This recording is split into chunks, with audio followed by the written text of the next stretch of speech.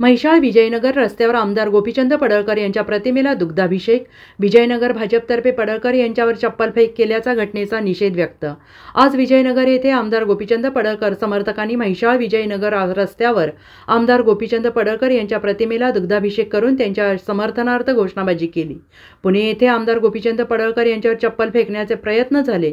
त्यानंतर आमदार गोपीचंद पडळकर समर्थकांच्यामध्ये तीव्र संतापाची लाट उसळली आहे. आज विजयनगर येथील समर्थकांनी म्हैसाळ विजय नगर रस्त्यावर उतरून आमदार गोपीचंद पडळकर यांच्या प्रतिमेला दुग्धाभिषेक केला. यावेळी राजूभाऊ कोरे धनंजय कुलकर्णी प्राजक्तानंद कुमार कोरे जिल्हा परिषदच्या माजी अध्यक्षा प्राजक्तानंद कुमार कोरे उपसरपंच सारिका राजकुमार कोरे नंदू कोरे बंडू पाटील डॉक्टर अनिल कोरबू यांच्यासह भाजप पदाधिकारी उपस्थित होते. पार्टीचे नेते आणि बहुजन सम्राट माननीय श्री गोपीचंद पडळकर साहेब यांच्यावर चप्पलफेक करण्यात आली ते पण त्यांच्या अनुपस्थितीमध्ये ते पुढे गेल्यानंतर चक्कलफे चप्पलफेक करण्यात आले हा घाड हल्ला करण्याचा प्रयत्न करण्यात आला.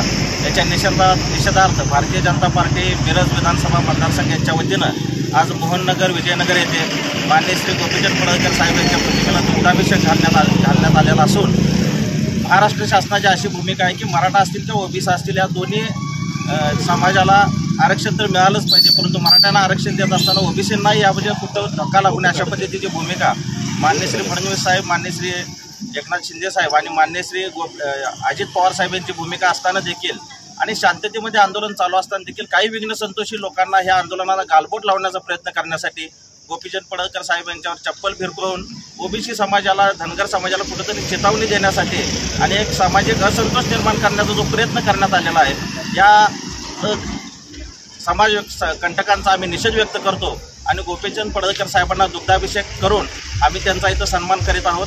अशा पद्धतीने भविष्यामध्ये कोणत्याही पद्धतीचे झाड हल्ले करू नये अशी विनंती दोन्ही समाजाला आम्ही करतो.